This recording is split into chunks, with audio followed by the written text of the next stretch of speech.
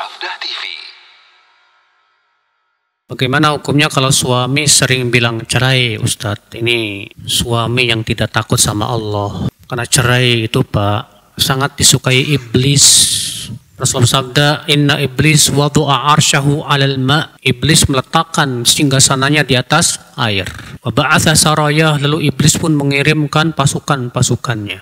Wadnahu manzilah ilaih a'zamum fitnah. Pasukan iblis yang paling didekatkan itu yang paling besar godaannya. Yaqulu ahaduhum salah seorang mereka berkata, "Qad sanatu kadza wa kadza." Aku sudah melakukan begini dan begitu. Kata iblis, "Ma tasna syai'an." Kamu belum melakukan apa-apa.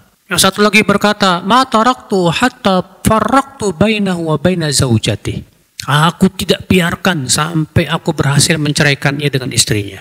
Lalu iblis pun mendekatkannya dan berkata, Nikma anta, kamu sebagus-bagus pasukan. Lihat dia berhasil menceraikan suami dan istri.